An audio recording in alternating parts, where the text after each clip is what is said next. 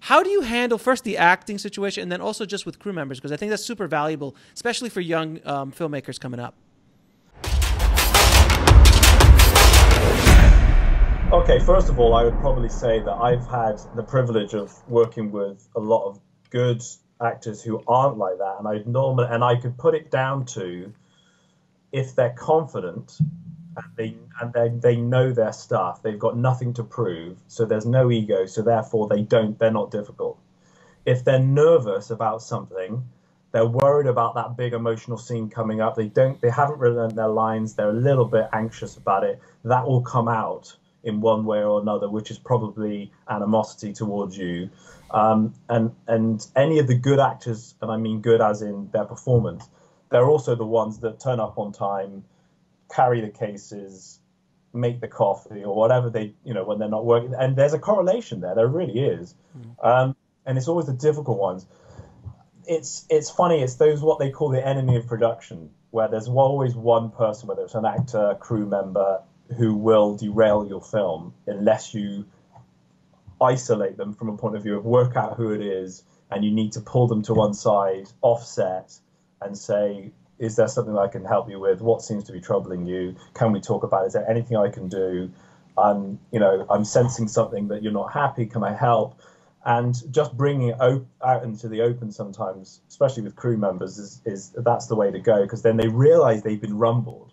Mm-hmm killing them with the kindness and you're saying, hey, look, I've, I'm letting you know that I've noticed your behavior.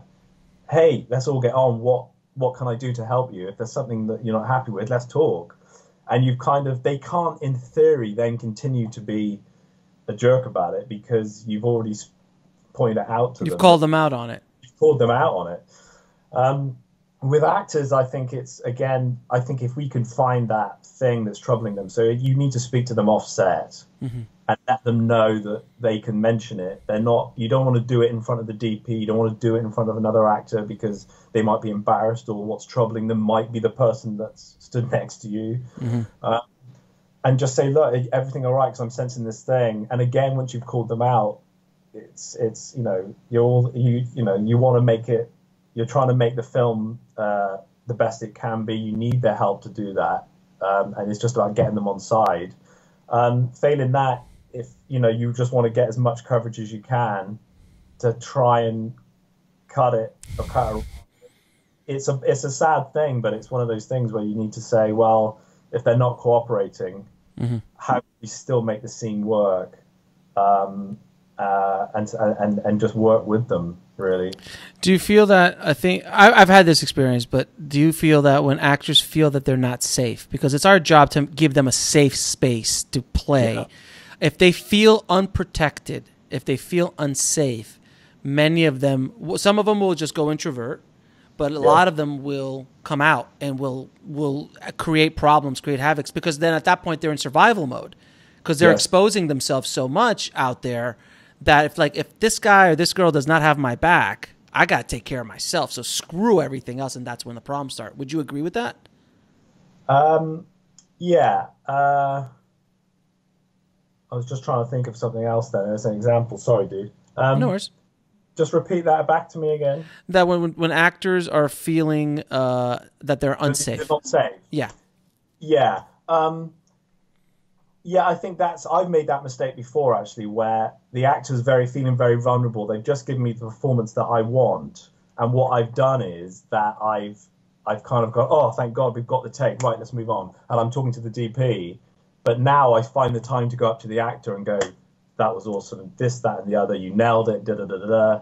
Is there another take you want to try? Do you want to try a different way? Because obviously that was the way that I asked you to do it. Is there another input? And they think, oh no no no, if you like that, that was fine. Mm-hmm. Rather than uh, you know they feel like they they want to give it another go, but a different a different way. And there was a tip that I picked up from Spielberg actually, where I was watching the extras on Catch Me If You Can with DiCaprio, mm-hmm. and he was saying that they would do all these takes the way that Spielberg wanted DiCaprio to do it and at the end, would just say, "Right, dude, just do another one, but go crazy, mm-hmm. do something outrageous." Yep. And he would say that in the edit, nine times out of ten, they would use the outrageous take because there was no inhibitions. DiCaprio felt free, but it was just the fact that he had been listened to. The actors need to know that they put their point of view across.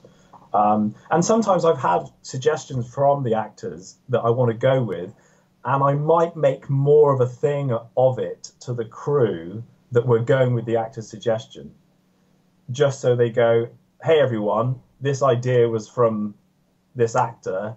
Isn't it a great idea? We're now going to shoot it this way." And they kind of feel a little bit, "Hey, I've put some input in here, and everyone knows it." Mm-hmm. And it's a little bit manipulative, but you are protecting them in, and you're also uh, you know bigging them up really it is it's, so much about filmmaking is psychology uh in Yeah. the, in in how you produce it how you find the money for it how you actually shoot it how you edit it how you distribute it. Um and and also just the psychology of telling a story with subtext and and and creating different uh, you know th- you know things and all that kind of stuff when you're when you're doing stories. It's it's really interesting uh and i think filmmakers really don't get that across. They don't teach that in film school. That's psychology should be a prerequisite in Yeah. any any and all film schools. Would you agree on that? It's like 50% of the set because you've got a psychology going on with the crew. Mm-hmm. You've got the actors with the director you've got the director and the execs. You've got it's all it's all egos. It's has he or she had her input? You know it's i don't know. It's like you know it's the classic story of as well of like the editor and the director leaving in shots that they know to be bad. Mm-hmm. Or Yeah. Over long so that when it goes up the chain to the producers and the execs oh yeah. they go don't like that shot take it out. Good idea. Thank you very much producer b. We'll take that great example the great you know input and then you take out the shot.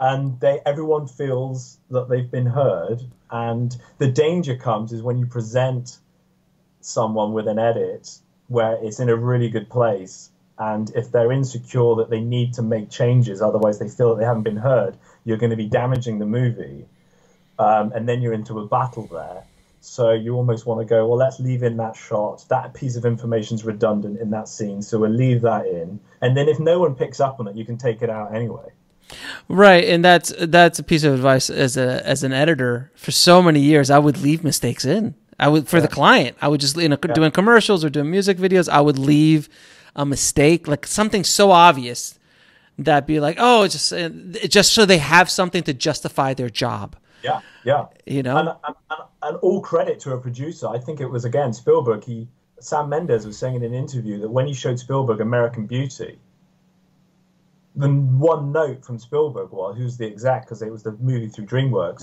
He said, "Don't change a frame." Now, co- the, the confidence from Spielberg, he could have said, "Well, look, I would have done it this way. You want to tighten up that scene, da da da da." But Spielberg had nothing to prove. He didn't need to show Sam Mendes how to make films. yeah, His only note was, "Don't change anything." because he's it was- Spielberg. Because he's Spielberg. But also, it's like I don't need to. I don't need to show you that I'm Spielberg. yeah, I need to prove to you that I know my stuff, and I think that's such a valuable thing. And if I if I come across crew members and producers, especially, and I'm saying, hey, I had nothing to add to that Skype call. I had nothing to, to amend because I think what it is is in, it's in a good place right now.